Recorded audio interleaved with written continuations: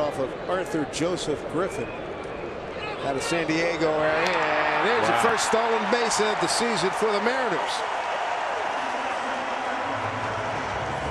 Strange stolen base, but it works.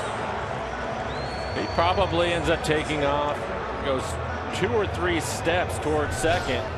I thought that Griffin would just step off the back of the mound. He does the right thing. He continues to run hard.